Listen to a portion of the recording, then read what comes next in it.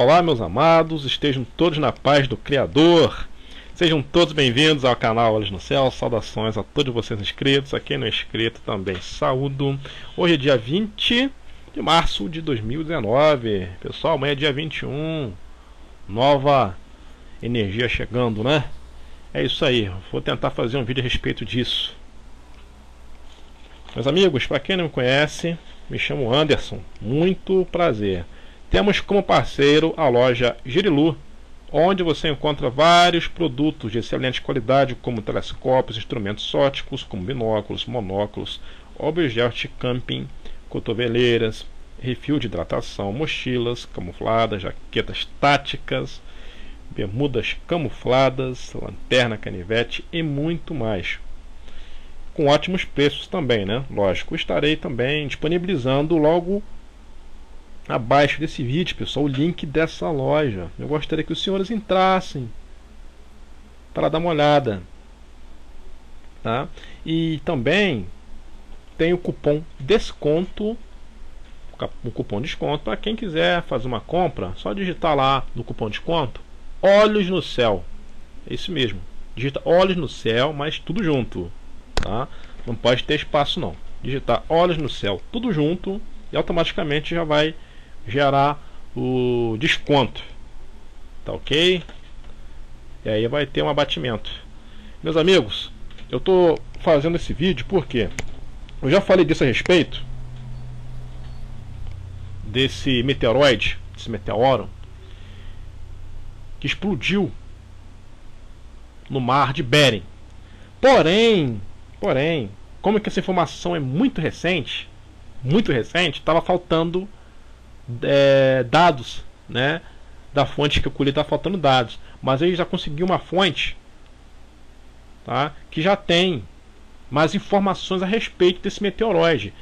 E eu acho que é do conhecimento é importante, de extrema importância, que chegue ao conhecimento de todos sobre esse fato, tá ok? Vejam só, pessoal. De acordo com a Hyper Science, meteoroide evita detecção terráquea e explode sobre o mar de Bering com força de 10 bombas nucleares. Ou seja, a, a, é, a NASA, ou seja, os terráqueos, não conseguiram prever essa queda. E quando viu já tinha explodido. Tá? Uma explosão que valeu 10 bombas nucleares, igual a de, de Hiroshima. Por Juliana Blume. Reportagem de hoje, atualizadíssima, dia 23, dia 20 de 3 de 2019. Tá? Bom, lembrando pessoal que esse, mete esse meteoro ele explodiu no dia 18 de dezembro.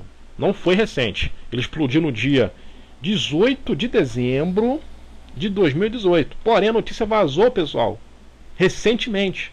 É isso mesmo explodiu, ninguém viu, né? E a notícia vazou.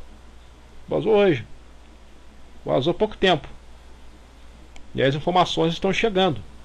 Agora eu vou lê-las. No dia 18 de dezembro de 2018, um meteoroide do tamanho de um ônibus explodiu na atmosfera da Terra com um impacto energético de 10 bombas atômicas. Essa foi a segunda maior explosão desde que a NASA começou a registrar esses impactos há 30 anos. Então aqui está muito bom os dados, tem peso, velocidade, o tamanho do, do, do, do meteoroide. Já na, na, na, outra não tinha tantas informações. Então, pessoal, em 30 anos não houve um impacto tão poderoso como, como, como houve. Né? Que foi a em Chelyabinsk e agora em 2018. O maior impacto de um meteoroide registrado foi em fevereiro de 2013 sobre a Rússia. A explosão mais recente teve apenas 40% da liberação de energia da anterior. Ou seja, essa explosão foi mais fraca do que a explosão de Chelyabinsk. Ela teve 40% da força do asteroide de Chelyabinsk, do meteoro de Chelyabinsk.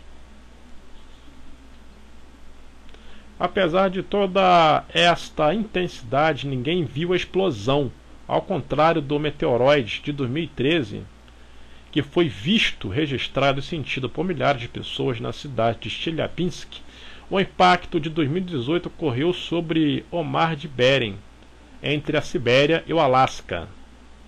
Essa região é bastante isolada.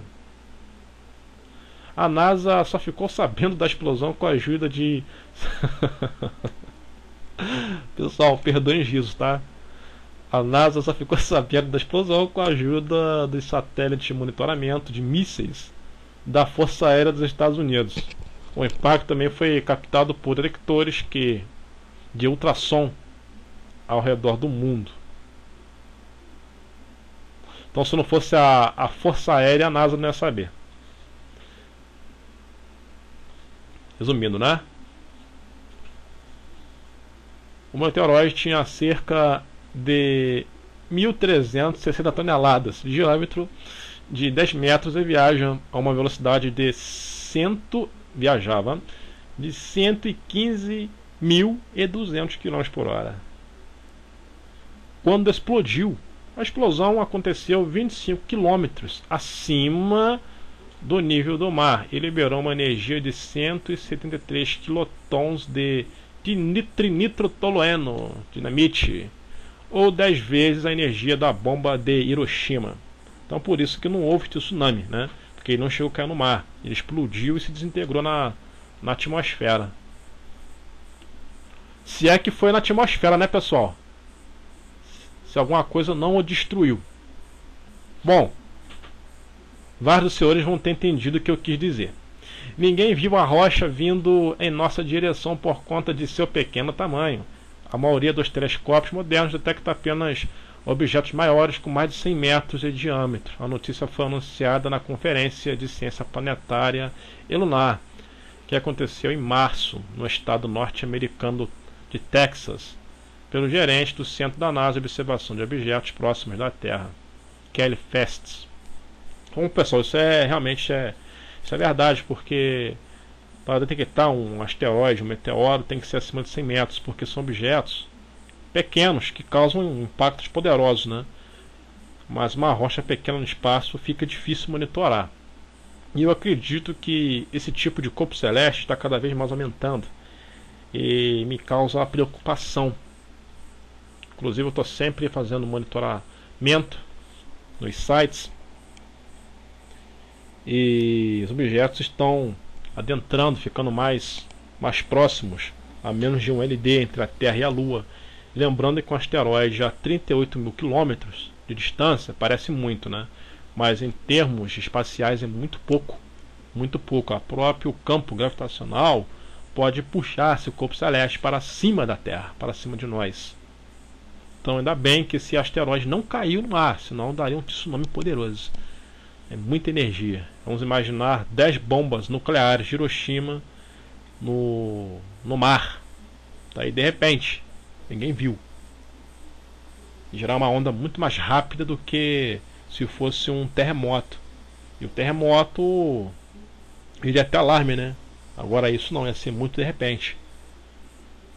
Então estamos propícios a sofrer esse tipo de coisa. Ainda mais nos tempos atuais, para quem já é inscrito no canal e acompanha os estudos que, que eu venho fazendo, que eu acredito que eu está tendo encontro de sistemas solares do Sol Negro, que o Carlos Moraes Ferrada falava, e outros planetas ao redor do Sol Negro e tal, inclusive detritos também espaciais, também nesse preso né, nesse sistema, nesse outro sistema solar perturbações gravitacionais também no cinturão de Kuiper, na nuvem de Oort, também pode estar lançando né, é, esses objetos para cima de nós. Então vamos torcer que não seja nada disso, que seja um erro, mas eu acho que não é não. Tá? Embora que o meteoro, lembrando, são eventos naturais, né? O que não é natural, pessoal, é, são asteroides é, como esse daí, como esse aí, acontecerem no cotidiano, tá? E é isso que não pode acontecer, porque isso é um terremoto muito. É um, perdão, um meteoro pode dizimar muitas vidas, então não pode acontecer. Porque se a atmosfera não tivesse desintegrado, ele ia cair no mar ia causar tsunami. Entenderam a gravidade da situação? Então é isso que complica. Milhões podem morrer. Tá? Milhões podem morrer, então é complicado. Tanto é que em 30 anos foram detectados dois impactos, então isso é raro. Então daqui um mês acontecer de novo, daqui a 15 dias de novo, aí já tem coisa errada, vocês entenderam a minha colocação? Então está acontecendo alguma coisa aí de anormal. Quem gostou desse vídeo, dê um like, inscreva-se, aperte o sininho para receberem as notificações. Lembrando que o like é importante para que o YouTube notifique essas pessoas que estão interagindo com o canal. O YouTube reconhece que o like é uma interação do inscrito com o canal, daí ele passa a notificar. Graças ao YouTube e à internet, estamos tendo informações como essa.